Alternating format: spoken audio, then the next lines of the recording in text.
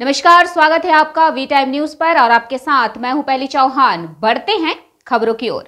अंत में मुर्शिदाबाद के फरक्का में गंगा के कटाव को रोकने के कार्य में अच्छी शुरुआत। फरक्का प्रखंड के कुलीदियाचार और हुसैनापुर चार क्षेत्रों में सोमवार को कटाव रोकथाम कार्य का उद्घाटन किया गया। फरक्का विधायक मुनिरुल इस्लाम ने कटाव रोकने के कार्य का उद्घाटन किया। फरक्का पंचायत समिति के अध्यक्ष नयनसुख पंचायत के प्रधान फरक्का लोक निर्माण अधिकारी सहित अन्य मौजूद थे। फरक्का विधायक ने कहा कि फरक्का, कुलियादीचार और हुसैनपुर चार के लगभग एक किलोमीटर के कटाव को रोकने के लिए राज्य सरकार द्वारा कुल पंद्रह करोड़ रुपए आवंटित किए गए हैं। विधायक ने आगे कहा कि फरक्का बराज प्राधिकरण ने फरक्का बराज के नीचे की ओर गंगा टूटने के मुद्दे पर कोई कार्रवाई नहीं की है। उनमें भयानक गंगा नहीं टूटती। हालाँकि मुर्शिदाबाद के डीएम ने अगले दिन इस मुद्दे पर एसडीओ से बात की। प्रभावित क्षेत्रों के निवासी इस बात से खुश हैं कि मानसून की शुरुआत से पहले गंगा के कटाव को रोकने के लिए काम शुरू हो गया है। মহিলারা কত অসহায়ভাবে হয়তো ঘর দরজা ভাঙছে, তখন তাড়াতাড়ি করে হয়তো বাড়ি ঘর মানে হটাচ্ছে। খুব দেখেছি এই করুণ দৃশ্য। দেখেছি এবং মনে মনে ভাবতাম যে সবই আছে আমাদের, কিন্তু আমাদের মাথার ছাতা নাই। আজকে সত্যি খুব মানে গর্বিত। আমি আজকে বাবলুদার সঙ্গে গাড়িতে আসছিলাম আর আমাদের এমএলএ সাহেবের কথা হচ্ছিল। খুব গর্বিত, আমি মায়ের মতো। আমি আপনাদের দিদি, ফারাক্কার দিদি, কিন্তু আমি আপনাদের মায়ের মতো। আমি গর্বিত যে আজকে আমরা একটা এমএলএ করতে পেরেছি। আপনাদের প্রচেষ্টায়, আপনাদের অক্লান্ত পরিশ্রমে আজকে আমরা একটা এমএলএ পেয়েছি।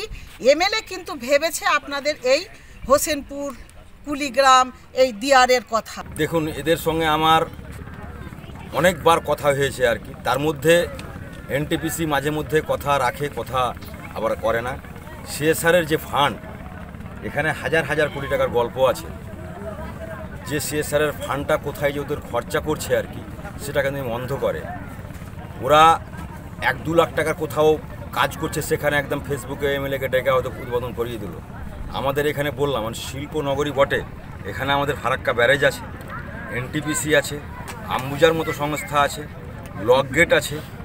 তাদের যদি ইনকাম সোর্স থেকে ওয়ান পার্সেন্ট সে সারের থেকে যদি খরচা করে তাহলে আমি মনে করি এখানকার লোকের দুর্দশার অবস্থাটা কাটবে। এবং আমার দাবি আছে এই যে এনটিপিসি ব্যারেজ, আম্বুজা লোকাল ছেলে মেয়েদের কাজ দিতে হবে।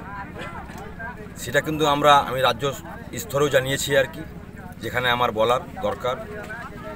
আমি চিফ সেক্রেটারিকেও বলেছি কলকাতাতে গিয়ে কি আমাদের এখানে বাইরে থেকে লোক নিয়ে এনে কাজ করছে, সেগুলো বন্ধ করতে হবে। লোকাল ছেলে মেয়েদের দেখেন, আমরা দীর্ঘ প্রচেষ্টার মধ্যে বিগত দিনের তো ভয়াবহ গঙ্গায় যেহেতু ভেঙে গেছে, আমরা খুব আতঙ্কে ছিলাম। অনেক পরিবার এখানে গঙ্গার জলে নিমজ্জিত হয়ে গেছে। ঘর বাড়ি বাস্তবিতা ছাড়া সকলেই চলে গেছে। এবারে যে রাজ্য সরকার যে স্যাংশনটা করেছে, আমরা খুব আশাবাদী এবং খুশি।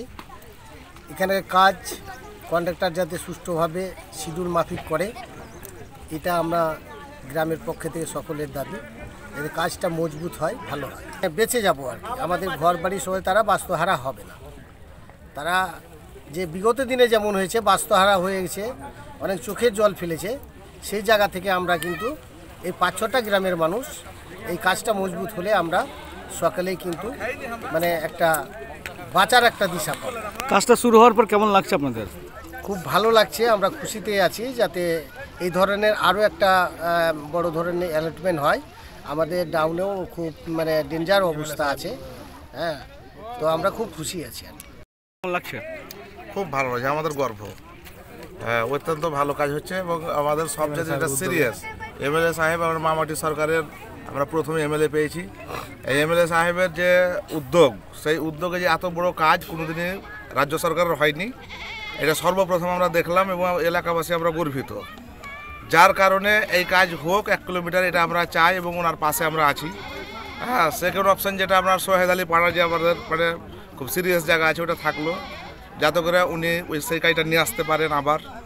হ্যাঁ তাহলে আমরা মানে সুসম্পন্ন কাজটা আমাদের সম্পন্ন হবে। এই কাজটা হওয়াতে কেমন লাগছে আজকে আপনাদের? খুব ভালো লাগছে। হ্যাঁ কত পরিবার বাঁচবে? আমাদের দু হাজার পরিবার কমসে কম বাঁচবে এই কাজটা হওয়ার এই জায়গাটা কি খুব ভয়ানক অবস্থা হয়ে আছে? হ্যাঁ খুব ভয়ানক। হ্যাঁ খুব সিরিয়াস হয়ে আছে খুব ভয়ানক হয়ে আছে।